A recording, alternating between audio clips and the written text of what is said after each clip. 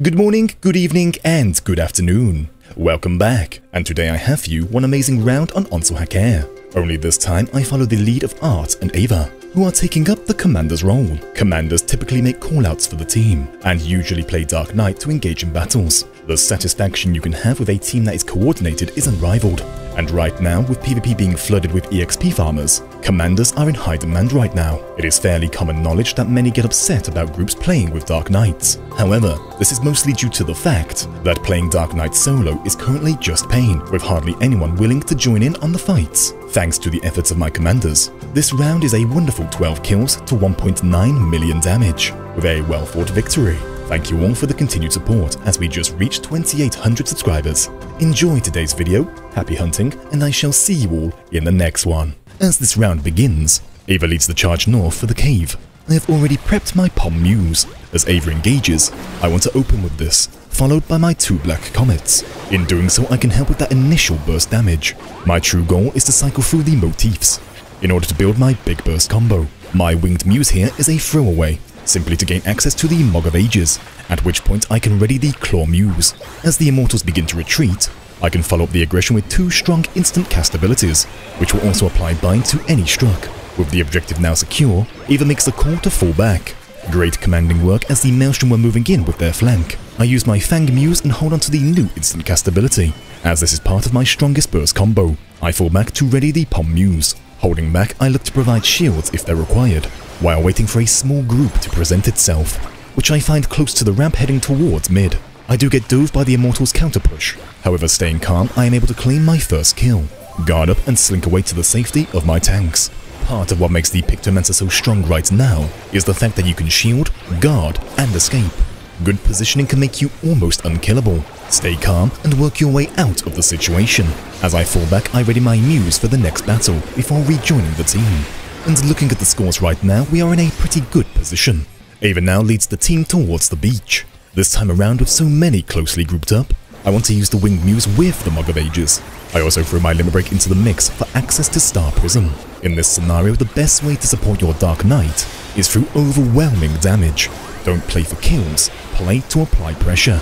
As long as the enemy team are focused on surviving and healing, your team can keep the pressure on until your Dark Knight is ready to dive in once again, and you can see me pushing in up close.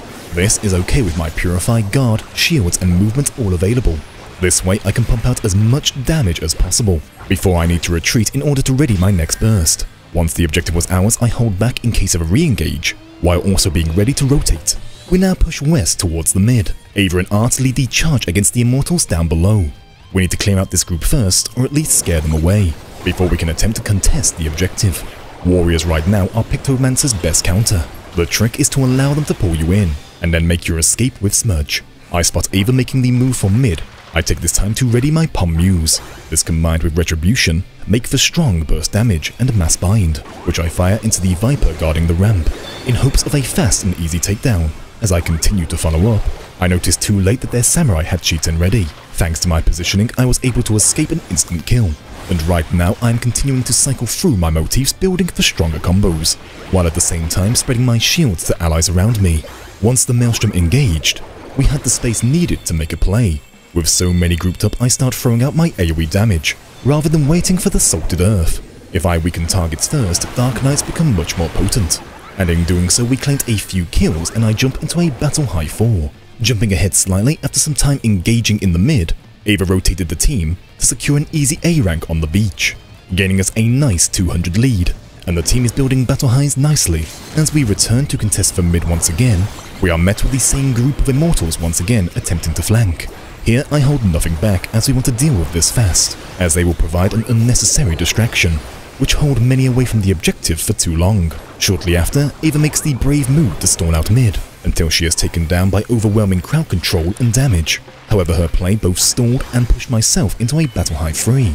It is now my turn to stall out, as the Immortals are catching up on score, and are also pushing towards spawn. I hang around as long as possible before I rotate to the bridge to aid the team. After being pressured out, I ready Pom Muse once again to combo with my Retribution.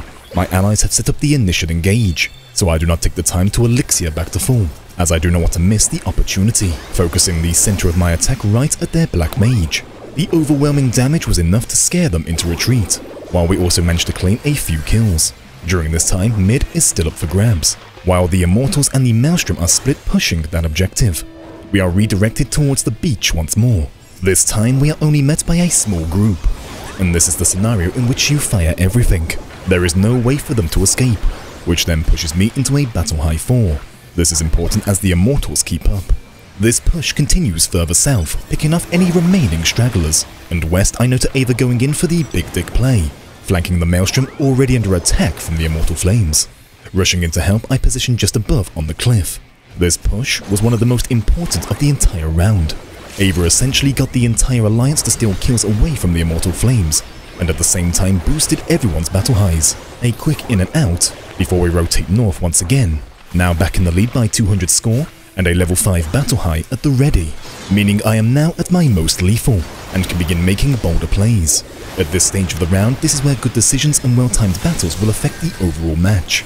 Jumping ahead slightly once again, my team were almost uncontested in obtaining the northern objectives. This pushed us 400 into the lead, and the pace is slowed down as we do not need to get greedy right now. However, this next play shows how devastating a Pictomancer can be. I have once again readied my Pom Muse Retribution combo, the Immortals are pushing the Maelstrom, so I loop around to their side. Pictomancer has the tank effect, in which you can create so much space, and set up so many kills. And with Ava wasting no time diving in, taking full advantage of their distraction, I am now free to spam off AoE damage. Together with the team and the Immortals, we skyrocketed up another 200 score. And just look at all of these battle highs. This has and will always be the key to winning matches. There comes a point where one team can have so many you cannot stand up against it. We are now into the final stages of this match. As I do not want to spoil the remainder of this round, I shall end the voiceover here. Stay tuned as you will not want to miss out on the amazing team effort coming up, which includes a huge satisfying flank attack against the Immortals down south. And let this match serve as a reminder that players who take up the commanding role are there to help. Not only to get wins, but to overall increase how fun PvP can be. Thank you to Ava, Art and Scarlet for the wonderful matches. Enjoy the remainder of this round, Enjoy your day, and I will see you all in the next one.